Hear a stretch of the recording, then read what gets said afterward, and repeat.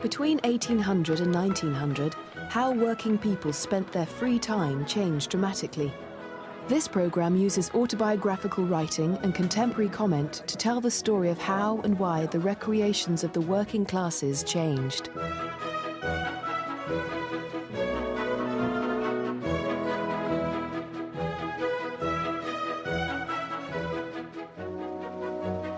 1838, Charles Shaw started work at the age of eight in a pottery works. In his autobiography, he recorded his memories of work time and free time.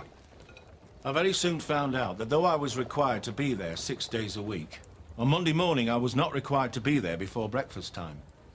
I found too that the place in which I worked bore a holiday aspect on Monday and Tuesday. The entertainment consisted in rough play when the men were drinking on the premises.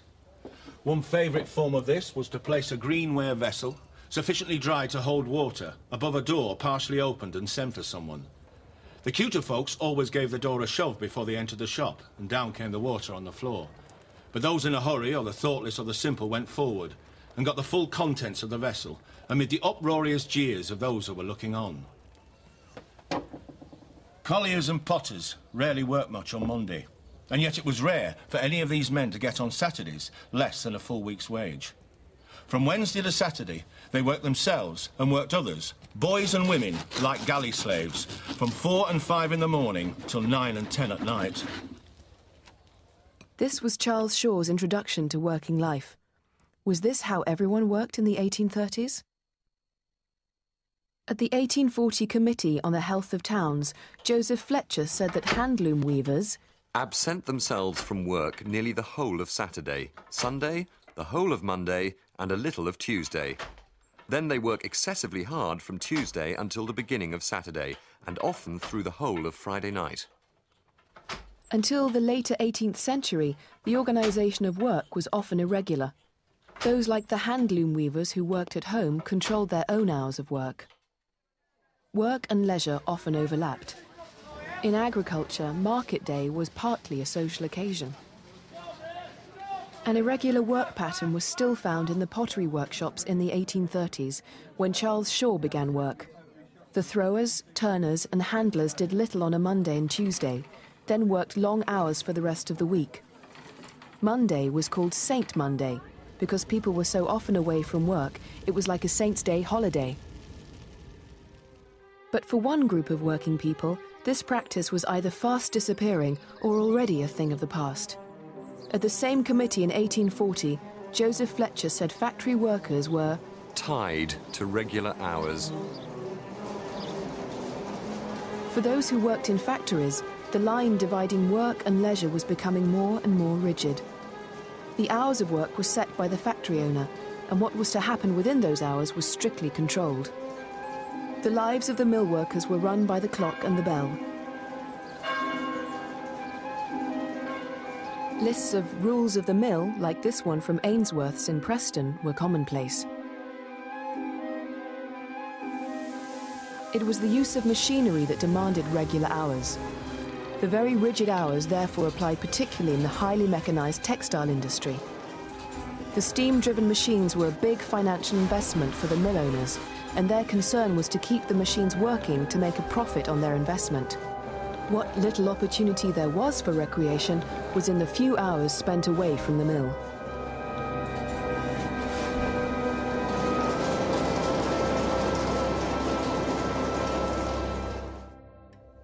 This is how Charles Shaw saw people spending their free time in the 1830s. Bare knuckle fighting and dog fighting were then in much favour. These succeeded the cockfighting of a previous generation. In every street where there was a beer shop, you would probably find a couple of men, stripped to the waist, pounding at each other in regular fisticuff order, till they battered each other black and red. Or else a couple of dogs would be devouring each other amid a howling ring of brutal men. The activities which Charles Shaw witnessed were popular pastimes in the first quarter of the 19th century. Cruel sports like cockfighting, bull baiting and bear baiting were common until, in 1835, the Cruelty to Animals Act made baiting animals for sport illegal. These entertainments were mainly for men. Women had little free time. When they weren't working outside the home, they were working in the home.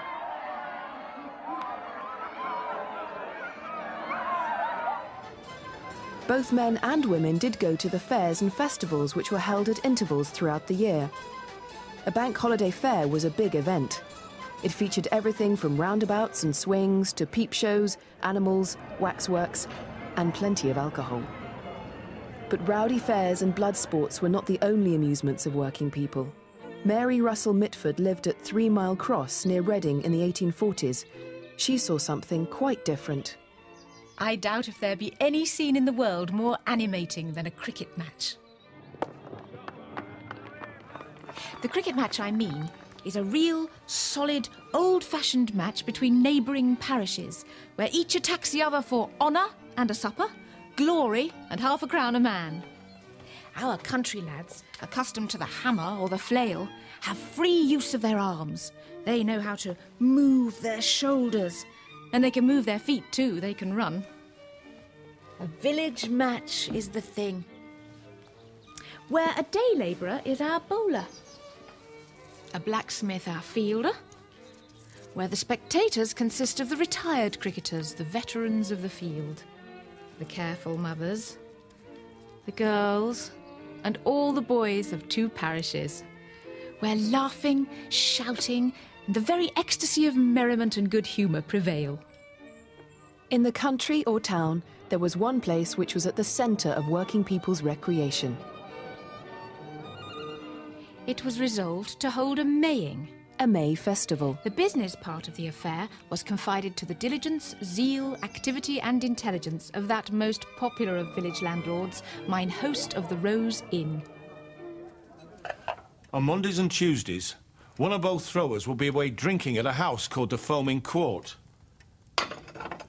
Sometimes half the turners will be away drinking too, and always one or both handlers.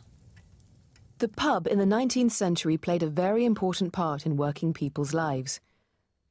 Why was the pub so important? It was common practice for an employer to pay the workers' wages in the local pub. This cartoon shows a workman getting his wages. In the background, his wife waits with the children. The landlord is indicating how much of the man's drink bill is to be taken off his wages. The pub was a financial centre for working people in more ways than this. The Morning Chronicle in 1849 reported on Birmingham Anyone who walks along the streets and looks at the bills in public houses may see at a glance how deep a hold the club system has taken. Sickness and burial clubs, clothing clubs, medical attendance clubs were all based in pubs. Each week, members of the club paid their subscriptions and the fund, held by the landlord, in time paid money to them for clothing, medical help, or to bury them. The expansion of building in towns in the early 19th century made pubs even more popular. The relentless march of bricks and mortar, as it's described in this cartoon, left few open spaces in which working people could spend their free time. The effect of this was commented on in Edwin Chadwick's 1842 sanitary report. This said about Birmingham There are no places where the working people can resort for recreation. The consequence is that they frequent the alehouses. The pub was the only place people could go to get away from cramped and squalid homes. It was a haven of warmth, light, and often entertainment. Concert rooms were attached to pubs. These were the only places of entertainment for working people. In the middle of the 19th century, the concentration of working people's free time around the pub and alcohol was a cause for much discussion and concern. In the public house and the gin shop are to be found swearing, cursing, lewdness, and disorder. Examine the history of thousands of young men transported to New South Wales, and you will find that the chief cause of their misfortune has been their love of strong drink. He's convinced that drinking alcohol is at the root of all evil. He's a member of the temperance movement that campaigned to ban spirits and, in some cases, all alcohol. He's quoting a temperance writer, Joseph Livesey. The frequenters of taverns and gaming houses on Sunday openly insult the laws of the land. Laws which will be held sacred by all good citizens, even if the law of God were not against them. She's concerned for religious reasons. She doesn't think people should do anything recreational on Sunday, but just go to church. She's quoting from a religious writer, Hannah More. Sunday being the only leisure day for working men, they naturally seek recreation on that day. In other countries in Europe, every facility is made available on Sundays. Music, the museums, and public libraries all display their attractions. There is no place of public resort in this metropolis open on Sundays. Tis no wonder working men seek the alehouse. He's a member of the respectable working class. He wants working people to have access to more places of recreation, not just the pub. He's quoting the chartist William Lovett. The Birmingham mechanic will not, in general, if ever, work more than five days a week. He frequently spends Monday in the alehouse, and when trade flourishes, it is common to find him only four days at his employment. Any manufacturer in the town will affirm my statement to be correct. He's a factory owner. He thinks his workers' recreations keep them away from work. He's quoting a letter to the Birmingham Journal in 1840. At present, the working classes frequent in great numbers the races, fairs, and periodical merrymakings. Some regulated amusements should surely be provided within the reach of our working men as a matter of policy. It is wise to provide safety valves in regulated amusements. If not guided by the government or the rich, they will fly to dangerous courses. He's concerned about public disorder at fairs and festivals. He wants to see more controlled recreations.